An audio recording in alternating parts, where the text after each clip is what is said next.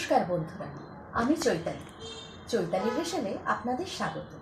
আমার এই ছোট্ট প্রয়াস আপনাদের যদি ভালো লাগে প্লিজ আমায় সাবস্ক্রাইব করবেন। তাহলে আসা যাক আজকের রান্নায়।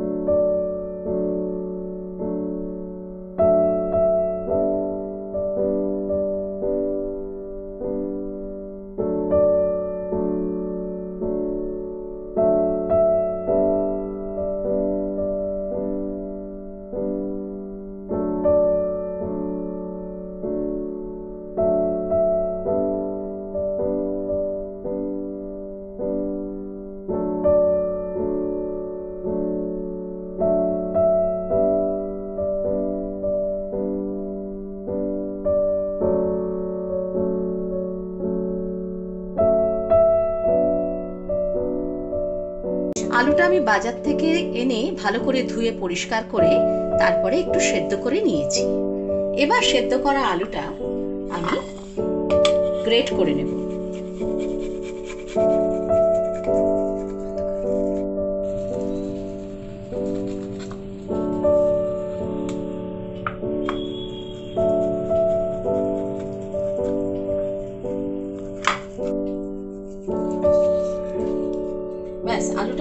করা হয়ে গেছে।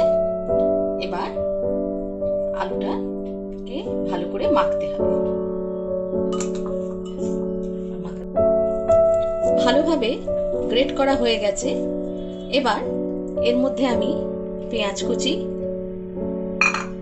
কাঁচা লঙ্কা কুচি,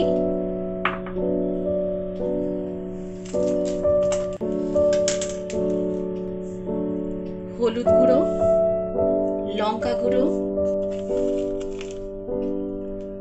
গরম মশলা গুঁড়ো আদা বাটা। মশলাগুলো দিলাম সবই হাফ চামচ হাফ চামচ করে দিলাম। এবার এর মধ্যে?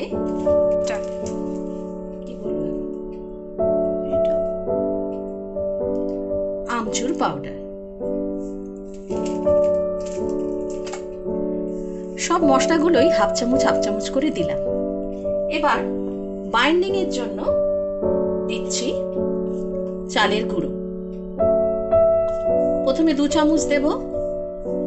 তারপরে মাখবার পর দরকার হলে আবার দেব। এখানে একটা কথা বলে রাখি বাইন্ডিং এর সময় যদি চালের গুঁড়ো আপনাদের কাছে না থাকে, তাহলে ব্রেড ক্রাম দিতে পারেন। ব্রেড ক্রাম যদি না থাকে, তাহলে কনস্টার্স দিতে পারেন। সেটাও যদি না থাকে, তাহলে আপনারা অ্যারারুটও দিতে পারেন। এমন নয় যে চালের গুঁড়ো নেই বলে এটা মাখা যাবে না। মাখাটা বাইন্ডিংটা যাতে সুন্দর হয় আর শক্ত হয় যেন ভিজে ভাব না থাকে। আমি এটাকে খুব ভালোভাবে মাখছি।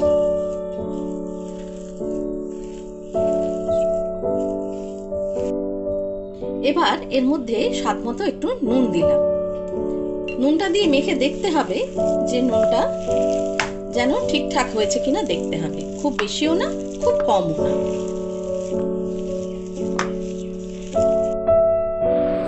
মাখাটা দেখতে হবে যে ঠিকঠাক মাখা হয়েছে কিনা। খুব নরমও না, আবার খুব শক্তও না। এবার মাখাটা মনে হচ্ছে ঠিক মাখা হয়ে গেছে। এবার একটু হাতে তেল নেব। নিয়ে ওখান থেকে এক একটা বল বানিয়ে প্লেটে রেডি করব। গোল গোল পাকিয়ে বলগুলো প্লেটে রাখব।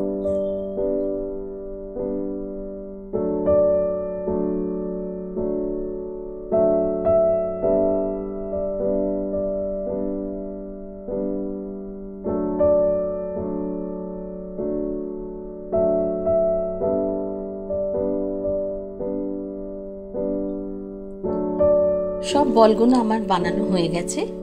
এবার এটা ঝুড়ি চাপা দিয়ে পনেরো মিনিটের জন্য রেখে দেব। এরপরে ডোটা তৈরি করবার জন্য দুশো গ্রাম ময়দা, স্বাদ মতো নুন ওয়ান স্পুন হোয়াইট অয়েল আর ওয়ান স্পুন জোয়ান নিতে হবে। জোয়ানটা হাতের মধ্যে ঘষে তারপরে ময়দায় দিতে হবে। দিয়ে এই সবগুলো মশলা খুব ভালোভাবে ময়দার সঙ্গে মেশাতে হবে। খুব ভালোভাবে মেশাতে হবে যেন তেলটা সমস্ত ময়দার মধ্যে খুব ভালোভাবে মিশে যায়। খুব ভালোভাবে ঠেসে ঠেসে এমনভাবে মাখতে হবে যেন ময়দাটা, ময়মটা ভেতরে ভালোভাবে চলে যায়।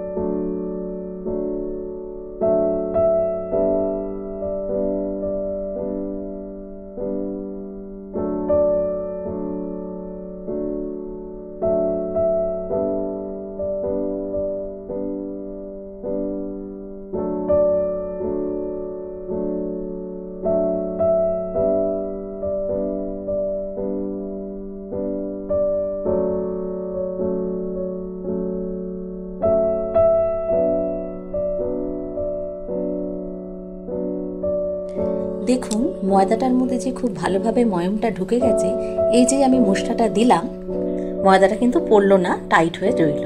তার মানে ময়দাটার মধ্যে ময়মটা ভালোভাবে মিশে গেছে।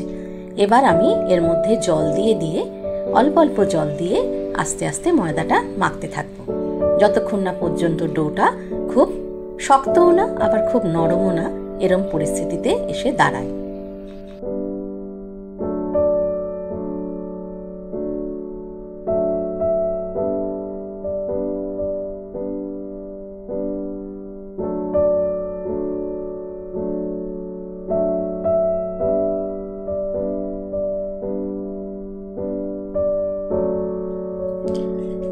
এইবার ময়দাটা খুব ভালোভাবে মাখা হয়ে গেছে।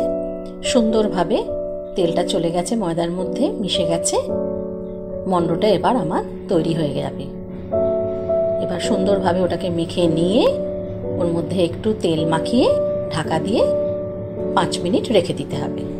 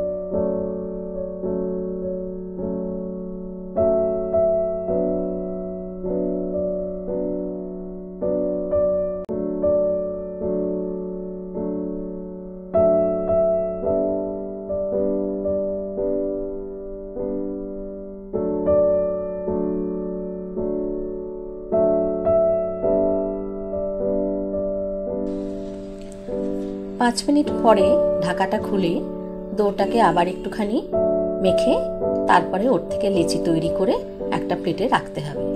লেচিটা মাঝারি সাইজের করতে হবে। খুব বড় না, আবার খুব ছোট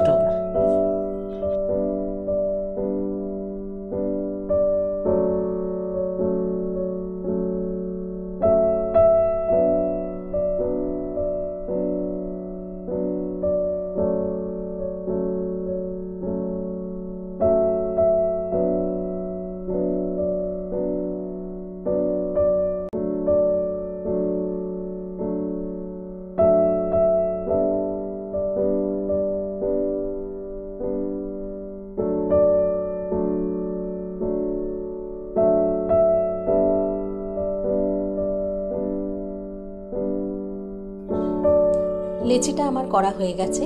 এবার একটা বাটিতে দু চামচ ময়দা দিয়ে, তার মধ্যে এক চামচ থেকে দেড় চামচ মতো জল দিয়ে একটা গোলা ময়দা তৈরি করতে হবে।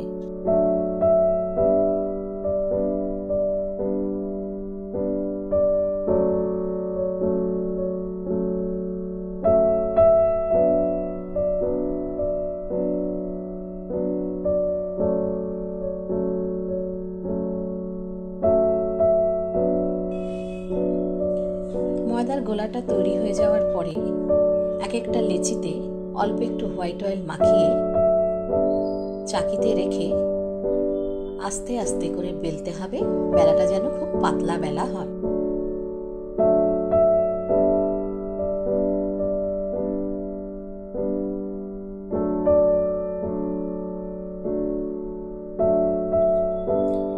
এরপর চার ধার থেকে এমনভাবে কাটতে হবে বাইরে থেকে ভেতরে যেন মাঝখানে একটা ময়দার প্রলেপটা থাকে, সেটা যেন কাটা না হয়। এরপর ওই যে অংশটা কাটলাম, সেই অংশটা যে ময়দার গোলাটা তৈরি করেছিলাম, সেইটা লাগিয়ে দিতে হবে। আস্তে আস্তে করে লাগাতে হবে চার ধারটা ওই কাটা অংশে।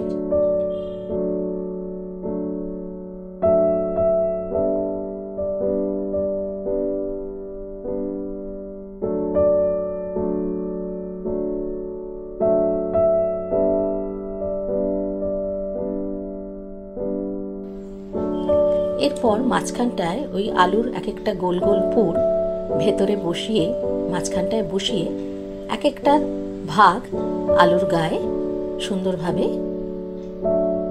লাগিয়ে দিতে হবে। চারটে দিক থেকে চারটে পাপড়ির মতো আলুর পুরের চারধারে ওটা লাগাতে হবে। দেখুন, এইভাবে আমি প্রত্যেকটা সিঙ্গারা, গোলাপ সিঙ্গারা বানিয়ে নিয়েছি।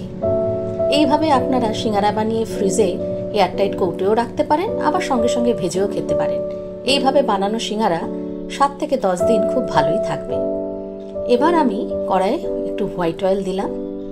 দিয়ে প্রথমে জোর আছে হোয়াইট অয়েলটা গরম করে নিলাম। যেই হোয়াইট অয়েলটা খুব জোর আছে গরম হয়ে গেল, তারপর আঁচটাকে আমি মিডিয়াম করে দিলাম।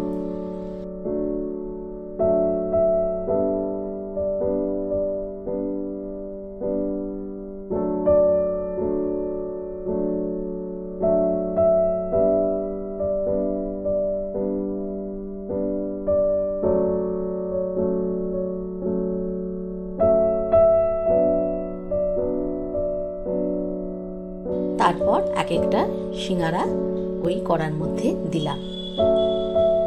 দিয়ে একটা দিক যেই ভাজা হয়ে যাবে, সঙ্গে সঙ্গে উল্টো দিকটা ঘুরিয়ে দিতে হবে। এইভাবে মিডিয়াম ফ্লেমে ধিমে আছে এমনভাবে ভাজতে হবে, ভাজাটা যেন পুড়ে না যায়, অথচ সুন্দরভাবে পুরো ভাজাটা যেন হয়, ভেতরটা যেন কাঁচা না থাকে।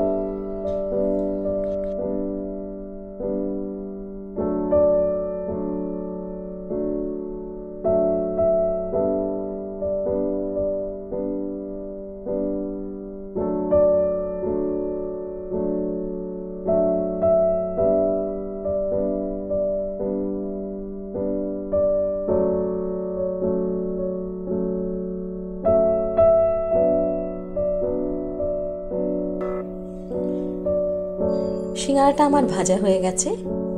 এইভাবে প্রত্যেকটা সিঙ্গারা ভেজে নিলাম। এইভাবে এইরকম সিঙ্গারা বানিয়ে সসের সঙ্গে পরিবেশন করুন। বিকেলের চায়ের আড্ডায় এই ধরনের সিঙ্গারা খেলে মনটা সত্যিই তৃপ্ত হয়ে যাবে। এরকম সিঙ্গারা বানান, নিজেরা খান, সবাইকে খাওয়ান। আর আমার এই রেসিপিটা যদি ভালো লাগে, তাহলে প্লিজ আমায় সাবস্ক্রাইব করবেন। তাহলে আজ আসি।